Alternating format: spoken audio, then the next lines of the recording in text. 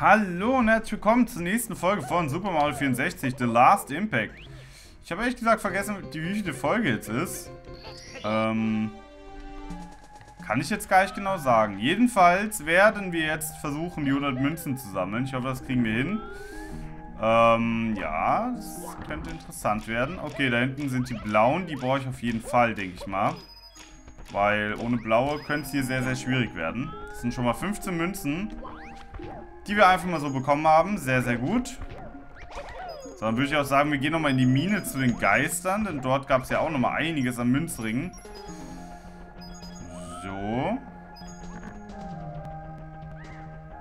Aber wir haben ja schon mal ein bisschen was. Wir haben ja schon mal ein bisschen was. So ist ja nicht. Ja gut, hier im Wasser scheint jetzt nicht wirklich was zu sein, ehrlich gesagt. Wir gucken nochmal nach. Da oben ist was. Oh. Gut, dass wir geguckt haben. Danke, Kamera. Für nichts.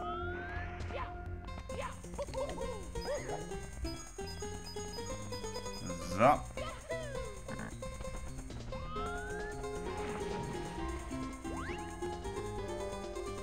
Wow. Igumba. Okay, nein, mach ich jetzt nicht. Ähm, so, nächste Münze. Die Gumbas nehmen wir gerade nochmal mit, würde ich sagen.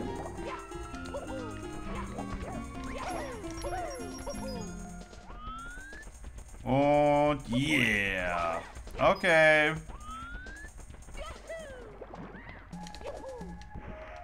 So, gibt es hier hinten vielleicht Münzen? Kann man hier vielleicht irgendwas machen?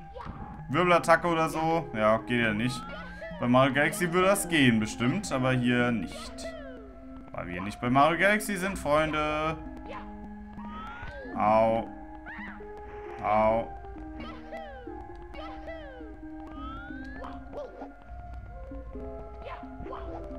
So, hier hinten sind keine Münzen versteckt, was eigentlich schade ist. Hätte ich mir doch gut vorstellen können. Oh, Leute, ey, ihr wisst gar nicht, wie froh ich bin, wenn ich aus diesem Level endlich raus bin, ne? Es tut mir echt leid, ey. Ich meine, das Level ist, hat gute Ideen auch gehabt und so. Keine Frage, sicherlich. Aber die Aufträge waren halt zum größten Teil so nervig. Muss ich wirklich leider mal ankritisieren. Ähm, tja. Dass mir das Level nicht sehr, sehr viel Spaß bereitet hat. Wie man vielleicht auch hier und da bemerkt hat. Könnte ich mir vorstellen. Aber Münzen gibt es hier immerhin einige, von daher dürfte das ja recht schnell gehen. Rote Münzstellen brauchen wir ja gar nicht erst sammeln. Den haben wir ja bereits schon. Das Spiel ist mir auch nicht mehr abgestürzt, als ich in die Mine rein wollte. Also scheinbar lag das tatsächlich daran, dass wir dieses eine Item da eingesammelt hatten. Die Powerblume oder was das war. Was auch interessant ist eigentlich. Kämen denn die Geister jetzt, obwohl wir nicht den Auftrag ausgewählt haben? Oh ja, die kämen. Das wollen wir natürlich gar nicht erst. Da bin ich mal ganz ehrlich, da habe ich ja gar keinen Bock drauf. So, wir haben fast schon 100.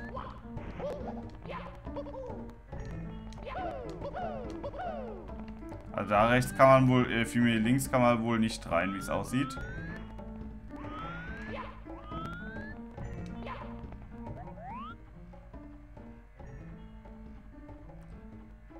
Wobei da hinten ja schon was zu sein scheint irgendwie, ne?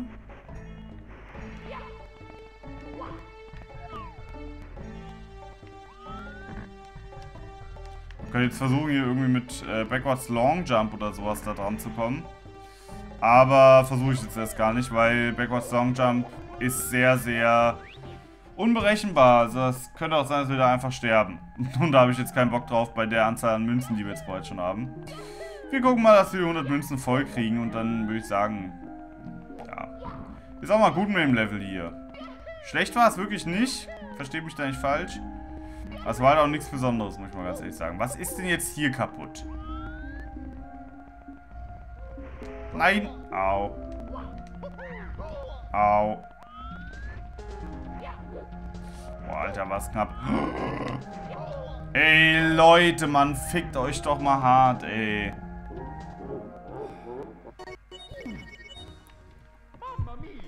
Ey, der Frustfaktor hier ist höher als bei irgendwelchen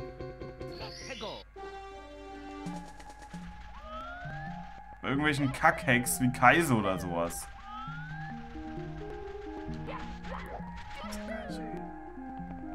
Meine Güte, ey. Ich mach's jetzt hier als erstes.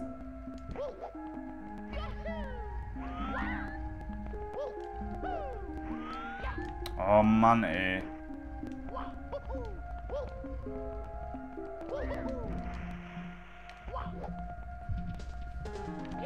So,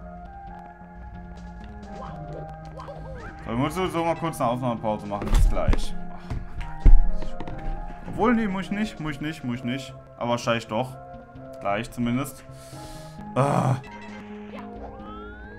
Wisst ihr, wir könnten schon die 100 Münzen gesammelt haben. Weil diese Welt, die geht mir einfach nur auf den Sack. Ist vielleicht völlig subjektiv. Ich weiß nicht, wie jetzt andere Let's Player sehen. Bin mal gespannt, wenn ich da ähm, ein paar andere hier sehe. Ich schaue mir jetzt auch nebenbei noch ein paar andere Let's Plays an. Beispielsweise von Ryok LP, von dem guten Chainsaw Man 16, die ja beide mittlerweile ein Let's Play davon machen. Leider nicht zusammen, aber das ist jetzt eine andere Geschichte.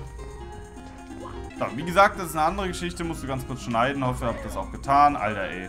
Ganz ehrlich, wenn ich hier sterbe, habe ich einfach keinen Bock mehr. Gut, Freunde.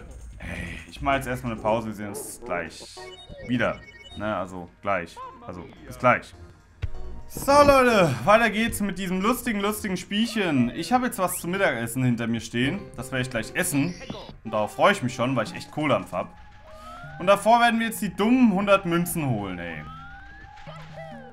Ihr habt das Level langsam echt auf dem Kicker, muss ich sagen.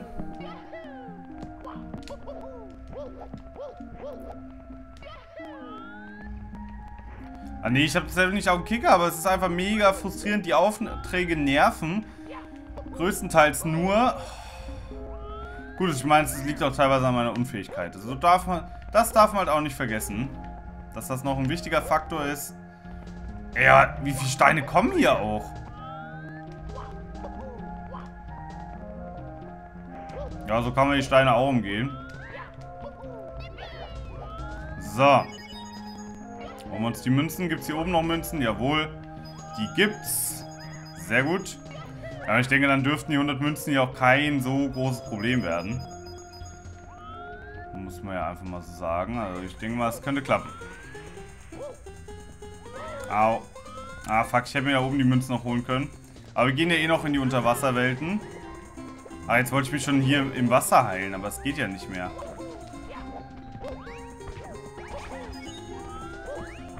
Ist da jetzt gerade ein Gumba im Wasser gestorben?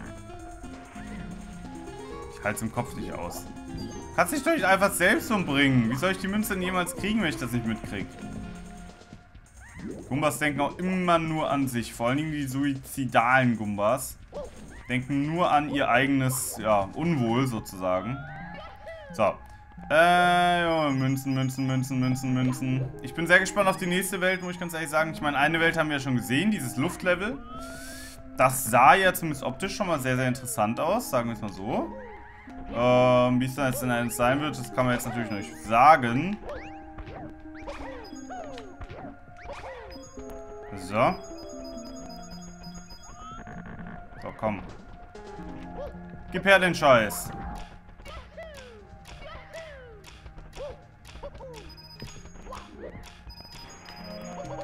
Alter. Okay.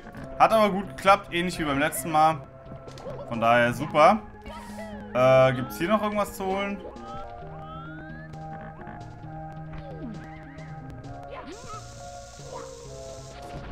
Gott, ey. Passiert eigentlich was, wenn man den Sockel hier entzündet? Nö. Hätte ich die Witch eigentlich auch nicht befreien können? Hätte ich dann Bob Om draufschmeißen können oder so? Das hätte mich ja nochmal befreit. Äh, befreit vor allen Dingen. Das hätte mich ja nochmal interessiert, ob das gehen würde, aber ich glaube wahrscheinlich nicht, ne? Wird schon alles so getriggert sein, dass das so klappt, wie es äh, auch gewollt ist letzten Endes. So, 69 Münzen haben wir bereits. 69. Okay, Mann ey. Dumme Witze. Ah, 69 natürlich die Rückennummer von, Vorname vergessen, Duda vom ERC Freiburg. Und darum diese Anspielung die ganze Zeit. Also für alle, vielleicht jüngeren Zuschauer, die noch nicht alt genug sind, um zum Eishockey zu dürfen natürlich. Nochmal die Erklärung, warum da die ganze Zeit dieser dumme Witz kommt. Sollt ihr auch wissen. Ich meine, ihr werdet es nicht lustig finden, weil ihr einfach noch zu jung dafür seid. Aber ist ja egal. Ist ja egal. Ist ja wirklich egal. So, wir haben die 100 Münzen geschafft. Ey, krass. So, und jetzt seid mir bitte nicht böse, wenn ich das mal so deutlich sage. Wir haben 70 Sterne, unseren 70. Stern gesammelt. Und ganz ehrlich, jetzt nichts viel raus. Nix viel raus. Ich drücke jetzt extra nicht Exit-Kurs, weil Exit-Kurs ist scheiße. Weil dann wieder den ganzen Laufweg hätten. Glaube ich zumindest. Ich glaube schon. Das heißt, wir müssen jetzt irgendwie sterben. So leid es mir tut. Selbst dazu bin ich manchmal noch zu doof. Wobei das mit dem Unterwassersterben geht jetzt hier ganz gut. Geht ja ganz schnell, also machen wir das mal. Ja, das ist mir jetzt auch egal. Ich meine, wir sind so oft Game Over gegangen, jetzt kommt es auch nicht mehr drauf an. So, machen wir hin. Und dann sind wir gleich nämlich auf der Oberwelt. Ja, es ist ein bisschen eine doofe Taktik, muss man ganz ehrlich so sagen. Aber mein Gott, ey. Blub, blub, blub. So. Und dann sind wir wieder hier. Das war der Plan. Wir brauchen jetzt Welt Nummer 9. Nummer 9. Wo könnte die sich befinden? Ich meine, wir haben da oben noch ein Luftlevel. Hier war das Lava-Level. Das könnte eigentlich, das kann eigentlich nur eine Sache sein. Eine Sache, die ich jetzt schon im Kopf habe.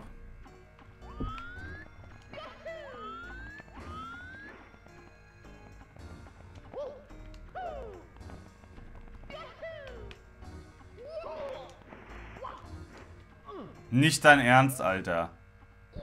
Ja, war das jetzt schon der lameste Tod oder hatte ich schon lamere in diesem Let's Play? Ich bin mir nicht ganz sicher, also ganz ehrlich, ich weiß es nicht. Weil ich, ich gebe mir schon Mühe, euch viel zu bieten, was lame Tode angeht. So, komm, direkt ins Loch, direkt ins Loch. Nicht in das Loch! Weißt du nicht nur, dass mich das Spiel zum Verzweifeln bringt, ich selbst jetzt auch noch. Meine Güte, ey. Ich stelle mich hier wieder an. Wir machen das mal so, wie Case sich das gedacht hat. Wir gehen jetzt mal auf die Plattform. Dann gucken wir uns um. Sehen, oh, noch eine Plattform. Oh, noch eine Plattform. Oh, noch eine Plattform. Juhu. Freuen uns ein Ast. Das ist ein schwerer Sprung. Oh, noch eine Pla Oh, noch eine Plattform. Oh, noch eine Plattform. Äh. Oh, ein neues Level. Meine Güte. Welt 9, Harriet Honey Hive. B Mario Exploration. Und B mit Doppel-E. Dann sei nochmal erwähnt. Ach du Kacke, was will denn hier schon wieder von uns verlangt? Okay, Level werden zusehends schwerer. Da ist eine Biene. Äh, eine Biene zu sein ist super. Ich kann mich... Äh, achso, ich kann nur A drücken und in die Luft fliegen. Ja, super, das freut mich für dich. Okay, sind schon mal viele Münzen für später. Was sagt die uns da?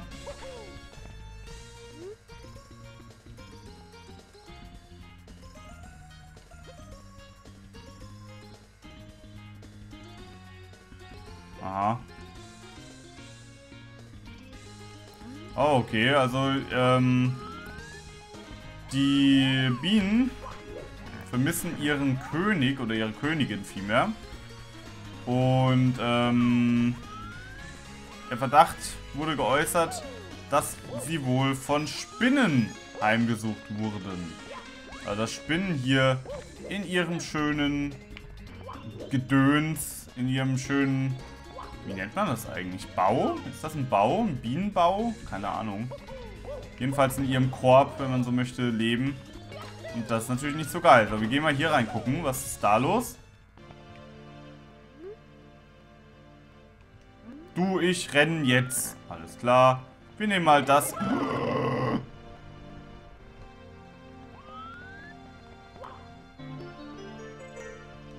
Scheiße.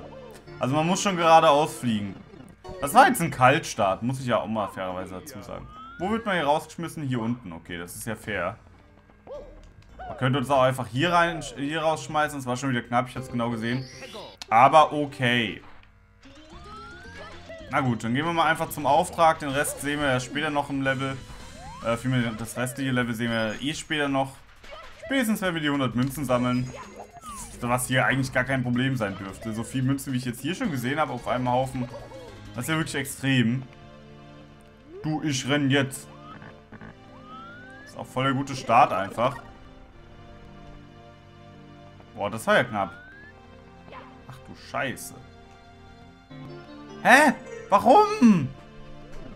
Okay, ich muss erstmal auf die Spielemechanik klarkommen. Ey, ich stelle mich so an in diesem Hack, ne? Es ist so peinlich einfach. Wahrscheinlich fahre ich jetzt noch irgendwie runter und dann haben wir das zigtausendste Game Over schon wieder. Meine Güte, ey. Ja, eigentlich sollte der Part auch schon vorbei sein. Ich weiß ja Handy, ey. Also kann ich auch nichts machen. Dauert halt jetzt mal ein bisschen länger. Oh, ich hab Hunger, ne? Ich hab Hunger, Alter. Boah. Alter, boah. Ja, ich muss hier rein, ne? Ja, wir mal, ne? Machen wir mal. So. Hallo. Ja, du, ich renn jetzt. Okay. Wir machen jetzt Rennen. Rennen.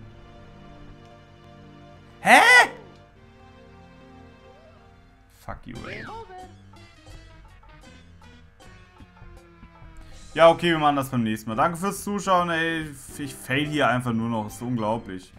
Bis zum nächsten Mal.